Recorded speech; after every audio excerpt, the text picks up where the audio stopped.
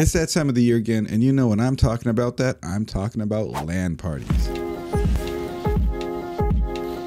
Lately, we've liked making an event out of it, so it's not just a LAN party for friends to gather, but also an opportunity to stream and let others enjoy it along with us. It's LAN party time. Actually, it's a giveaway stream time. My brother is doing a giveaway stream, giving away stuff to viewers on stream. It's gonna be great. It's gonna be on his stream. Let's uh, let's get going. I'm on the way there now and uh, excited to play some games today. This time, my little brother Tzalman, who's been featured on this channel now a few times, wanted to host a LAN party and stream over at his house. Is this where the party's at? So that's where we went. Another arrival. Hi. The guy who lives closest was here last. LAN parties are not a thing in the past, they are a thing of now, and it's something that we like to do. Coalition Gaming represent. Since my brother lives about an hour away, the turnout for the LAN party was not at its usual levels, but we still had great fun with the crew that did manage to make it. The crew trickled in one by one, then finally we got set up, getting drinks ready, getting snacks ready, and then it was time to play and stream and enjoy.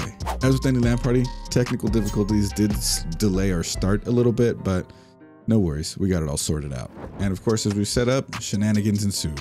For the streaming side of things, it was pretty funny that there is a sub goal for Tzalman to hit, and if he hit it, he put on a hot dog costume.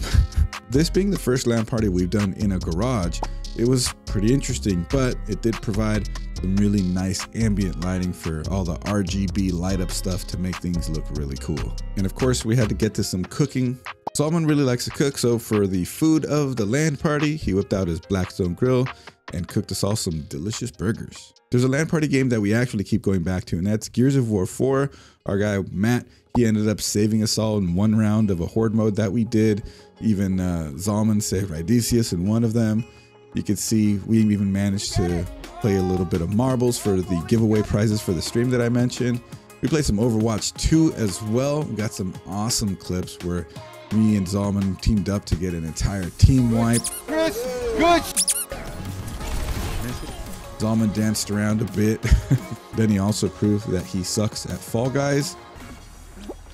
No! And then, like I said, he put on that wiener costume live on the stream.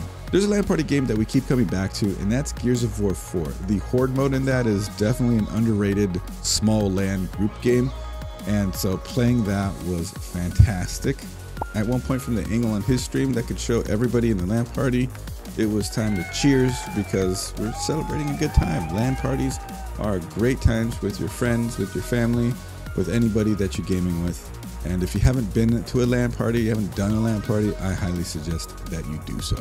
Tearing down at the end of the LAN party is always a bittersweet moment, but with the knowledge that we're going to keep on doing this and we're going to be doing another one at some point, it's only a matter of time until the next one.